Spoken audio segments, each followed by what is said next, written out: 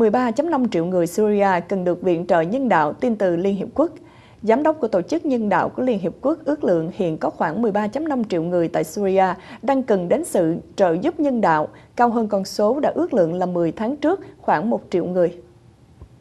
Ông Stephen O'Brien là người đứng đầu của Tổ chức Cứu nạn Khẩn cấp và Viện trợ Nhân đạo dưới quyền của Tổng Thư ký Liên Hợp Quốc, nói tại một cuộc họp của Hội đồng Bảo an Liên Hợp Quốc rằng người tị nạn Syria chạy trốn cuộc chiến tranh khốc liệt đã chấp nhận mọi rủi ro khi bước lên những chiếc tàu đầy nguy hiểm hoặc tìm mọi cách để đến Liên Âu cho bằng được. Ông Stephen O'Brien cũng nói rằng hơn 680.000 người đã vượt địa Trung Hải bằng tàu trong năm nay và 50% của số này là người Syria. Ông cũng đồng thời thêm rằng những người này có quyền tìm kiếm con đường tị nạn. Liên Hiệp Quốc còn xác nhận là hơn 1.2 triệu người đã phải di tản tại Syria tính cho đến nay, trong đó có nhiều người đã phải đổi chỗ ở liên tiếp đến lần thứ hai hoặc thứ ba.